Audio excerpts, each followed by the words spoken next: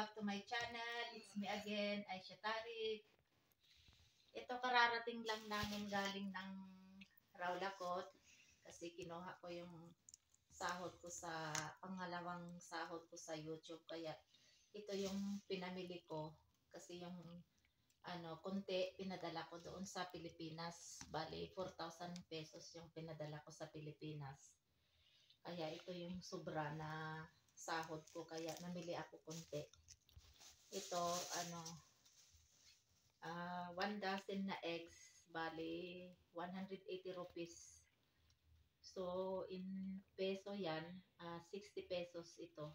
ah 12 pieces, one dozen na eggs. Tapos bread 120 rupees. So mga ano ito, mga 40 40 pesos ano malaking malaking ah, packet na ano na bread. Tapos bumili ako ng kunting ano, kunting dry na coconut. Alam niyo magkano ito? 20 rupees ito. So mga ano ito? ah 4 pesos. 4 pesos. Ayan. Or 5 pesos ito lang.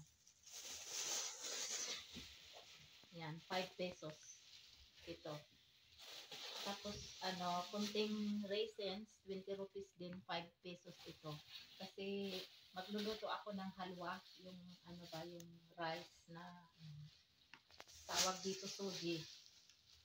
Tapos, ito, yung kamatis, bumili ako ng 2 kilogram. Ayan, o, oh, 150 rupees ang 1 kilogram. So, in in peso yan, 50 pesos ang 1 kilogram. Bali, 2 kilogram ito. Tapos itong lemon, 50, 50 rupees. So, in peso yan. In pesos itong lemon na 50 rupees. Ano ito, mga uh, 15, ah, no, 10, 20, 15, 15 pesos itong lahat, itong lemon na ito. Ayan. Tapos, ito, carrots, 1 kilogram, 70 rupees. So, mga ano ito, 20, mga 20, 23, 23 pesos. Itong ano, itong carrots, 1 kilogram. Tapos, guava, bayabas, bali ano lang ito, uh, half kilogram. Half kilogram, ano ito, ah, uh, mga 10 pesos ito lahat. Tapos ito naman yung bumili ako ng 1 dozen na orange o kaya malta. Uh, one, uh, one dozen is uh, 180 rupees. So, 60 pesos ito lahat. 12, uh, 12 pieces. Tapos bumili din ako ng rosemary o kaya soya. Ano ito? Uh, 60, 60 rupees, 20 pesos ito. At saka ito yung sarso. Masarap ito. Ayan.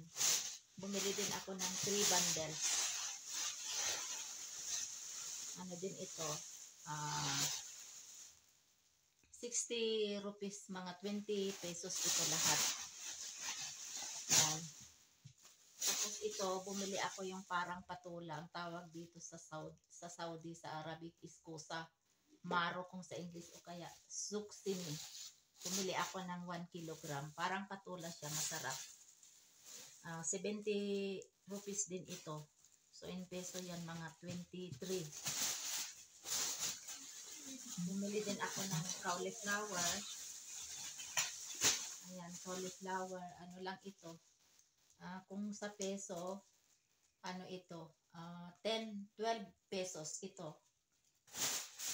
At sa karipolyo, bumili ako ng 1 kilogram, 70 rupees. Mga ano ito, 12, 13, 13 pesos ito. Ito lahat yung nabili ko. Yan. Ito lahat yung nabili ko sa ano pangalawang sahod ko kasi pina, pinadala ko nga yung ano 4,000 pesos. Kaya ito lahat alhamdulillah Kaya ito lahat guys, nung pinapili ko lahat. Kaya hanggang dito na lang. Thank you for watching. And bye-bye. See you sa next video po. Bye-bye. Ito, bumuli din pala ako ng maintenance nilangga sa kanyang epilepsy. Ito yung Lirace. 500 mg ito. Once a day after after niya kakain sa dinner. One capsule. Once a day. Ayan.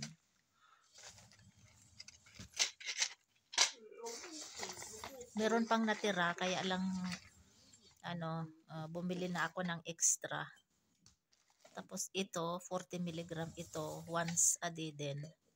After ng dinner niya, take ng dinner. Ayan.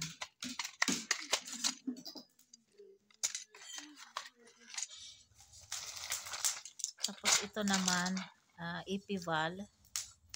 Uh, once a day din ito, after din ng kanyang take. Uh, after ng kanyang kakain sa dinner, 500 mg din ito. Ayan. Ito din, bumili ako sa ano sa sahod ko sa YouTube para extra nilangga na gamot. Maintenance. Ayan, silangga. Hmm. Ayan. Nandito na kami. Napagod ako. Hinapo ako. Upo man na ako dito sa labas. Ay. Dito na ako sa bahay.